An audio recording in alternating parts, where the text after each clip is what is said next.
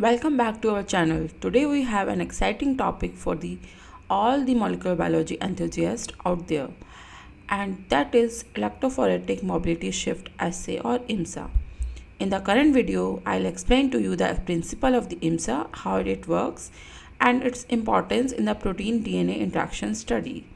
If you are new here, don't forget to hit that subscribe button and the bell icon to stay updated on all our upcoming videos. So let's get started. EMSA has a several names like gel shift assay or electrophoretic mobility shift assay or gel retardation assay. It is a powerful and widely used technique in molecular biology to study protein DNA interactions.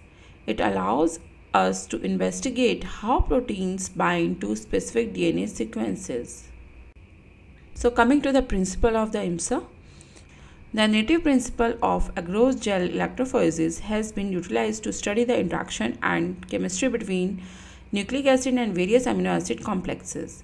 When the nucleic acid linked and unlinked samples are loaded in a polyacrylamide gel and run under an electric field with standard gel running conditions, a mobility shift is observed. Depending upon the size of the sample, which is any protein bound to the DNA, differential migration speed will be seen. So the unlinked nucleic acid runs faster than the protein linked one. This slower migration speed results in the shift of bands and differential banding patterns. When we need some specific DNA linked protein, we can bind it with a specific antibody of that protein of interest which we want to look exactly it linked with DNA or not. That complex will show more slower migration than the protein linked one. And this situation called the super shift. Now come to the assay procedure. First step is to generate DNA probes which is usually designed to contain the DNA sequence of interest. And then secondly, the protein of interest is extracted and purified from cells or tissues. It can be a transcription factor or a binding or, or a DNA binding protein or any other protein that interacts with DNA. And then this protein, purified protein, is mixed with the labeled DNA probes in a test tube. If the protein specifically binds to the DNA sequence in the probe, a protein DNA complex will form. And then these samples will be loaded into wells of an electrophoresis gel and the gel is typically made of polyacrylamide gel or it can be a uh, agarose gel. When an electric field or electric current is applied to the gel, the DNA molecules both in free form or in complex form with the protein move through the gel. Since the protein DNA complex is larger and more massive than free DNA, it migrates slow it migrates more slowly through the gel matrix and that phenomenon is called a shift after electrophoresis, the gel is stained with a suitable dye like ethidium bromide or Coomassie blue to visualize the DNA bands and the protein DNA complexes. Using appropriate imaging techniques, the band can be detected and analyzed. Then, by comparing the migration pattern of the protein DNA complex and free DNA, we can determine whether the protein binds to the DNA probe and investigate the protein binding specificity, affinity, and conditions that influence the interaction. Electrophoretic mobility shift assay offers several advantages that make it a valuable and widely used technique in molecular biology research. Some of the main advantages of EMSA include sensitivity, that EMSA is a highly sensitive technique. We can detect even weak protein DNA interaction too. Specificity, we can determine the specificity of protein DNA interactions by using different DNA probes or mutant DNA sequences. We can confirm whether the observed binding is sequence specific or non-specific. EMSA can provide semi-quantitative data about the strength of protein DNA interactions by comparing the intensity of protein DNA complexes to free DNA bands, we can estimate the binding affinity of the protein for its target DNA.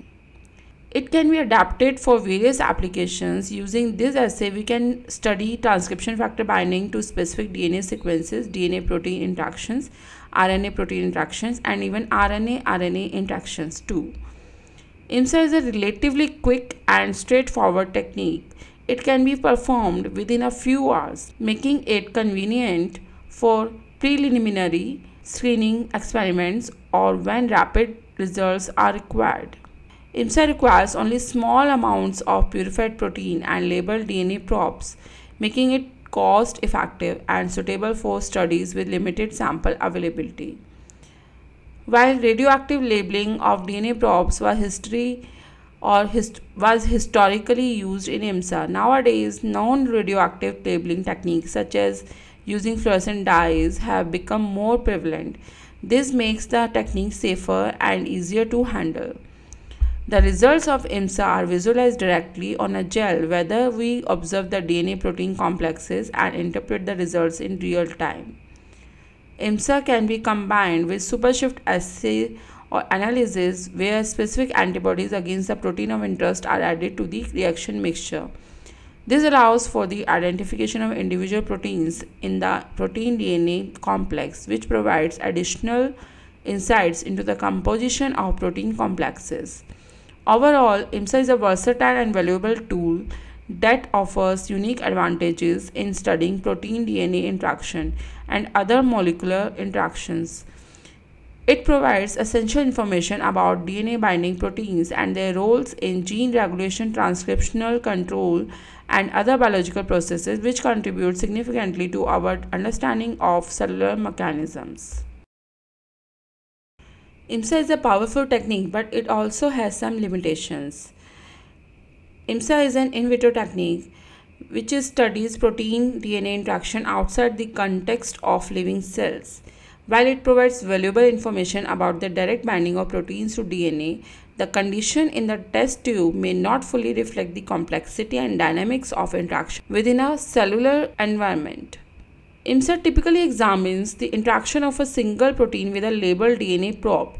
In reality, cellular processes often involve multiple proteins and complex regulatory networks. EMSA may not capture the entirety of these interactions. EMSA requires relatively harsh conditions including high salt concentrations and the use of detergents to prevent non-specific interactions. These conditions may not fully mimic the physiological environment within the cells and that affects the binding behavior of some proteins. The choice of DNA probe length and sequence may influence the binding behavior of proteins. Short probe might not encompass all relevant binding sites, while longer probes may introduce complexities in the interpretation of results. While EMSA is sensitive technique, it might not detect weak or transient protein DNA interactions, which are essential for some biological processes. The success of EMSA depends on the quality of the purified protein sample. Improper protein purification or storage conditions can lead to inaccurate results. EMSA is not ideal for high throughput screening of large protein libraries, libraries due to the time and labor involved in the preparing and running individual assays. While supershift analysis can help identify specific protein components in DNA protein complexes, the interpretation of supershift results might be complex due to antibody specificity and the presence of multiple protein isoforms.